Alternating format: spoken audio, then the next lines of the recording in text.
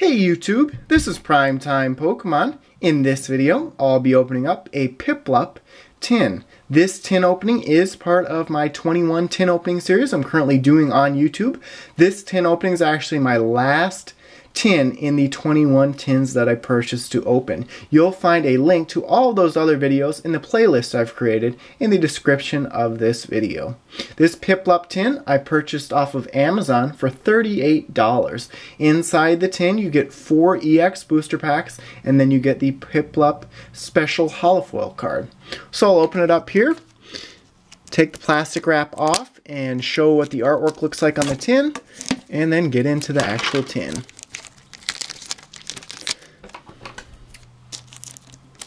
Definitely been a very good 21 weeks opening all of these tins. Had pretty good pulls with all of them, really. Haven't pulled that many ultra rares out, but I was definitely dreading spending $979 and then having all the tins being weighed, but I found that not to be the case. So here is the tin with the plastic wrap off. Now don't ask me why that Piplup is not featured on the artwork or anything. Very strange indeed. But here is the last promo card I'll be showing in this series. Piplup here, just a special holofoil pattern to it.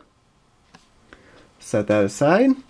And then the four booster packs on the inside. Definitely some great sets in there. That's why I saved this tin for last.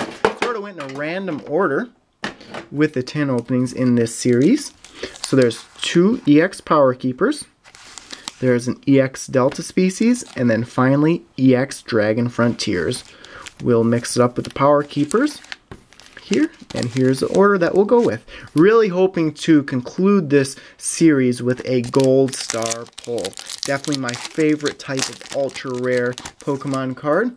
Hard to pull in packs. They're about one in three booster boxes. Okay, first card here the last 10 in this series is Root Fossil. There's a Wynaut, Charmander, Magnemite, Carvanha, Shelgon, Phoebe Stadium, Reverse Holo of a Slakoth, and that's just a common. And the rare in this pack, potentially a gold star, is a Cradily Holo. So it definitely won't be shut out polls wise in this last tin with a holofoil card to start. Three packs left now. EX Delta species.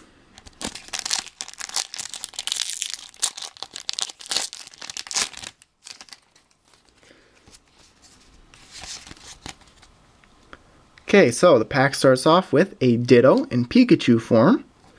There's a Ponyta, Cubone, Holon's Magnemite, another Magnemite, Skarmory, Pupitar, Reverse Holo of Hariyama, and that is an uncommon. And the rare in this pack is a holofoil of Espeon. One of my favorite Eevee evolutions, probably the third favorite.